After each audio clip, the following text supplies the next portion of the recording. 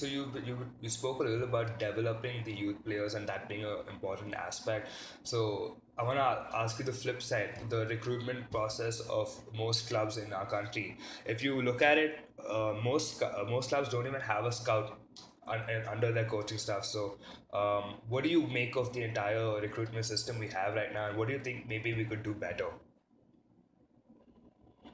See, those days, it was like because of the draft, you had to know your players and be strategic about which ones you pick in that particular season.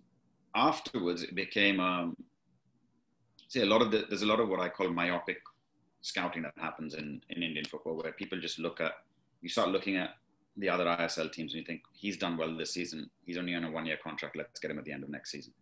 And when the people open up their eyes a little bit more, you start looking at, oh, he's done well in the I League. Let's pick him up.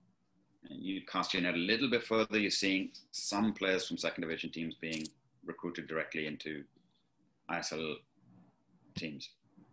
Yeah. Uh, I think there are very, very few clubs and few guys in India that go and cast their net a little bit wider, go and watch youth tournaments, whether it's a Subrata Cup, whether it's uh, Goa Pro League, whether it's Calcutta League, BDFA in Bangalore, um, Mizo Premier League, etc., and go and identify players who you think, you know, they might not be ready for your first team straight away.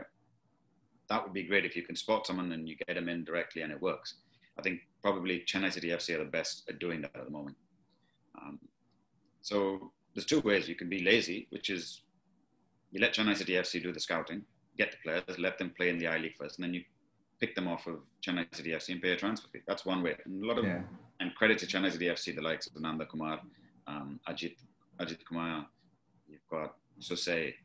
Loads of players have come through there and are now playing um, in the ISL. Edwin Vanspaul last night. So there's that way, or you can go out and do what Chennai City are doing, and and go on and look for this because there are good players all across the country, but it's a matter of how do you go out and find them. I think Goa, FC Goa do a good job of that as well. So it's gotten a lot better now. Um, I think clubs are assigning roles for people in the club to go and do that. Sometimes may, may not necessarily be like, oh, we have a head scout.